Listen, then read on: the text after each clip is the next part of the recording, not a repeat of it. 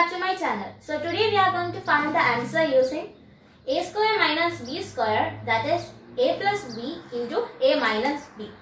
So the question is 51 square minus 49 square.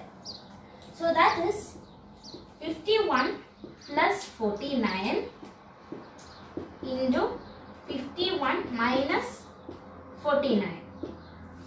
So 51 plus 49 equals 100 into 51 minus 49 equals 2.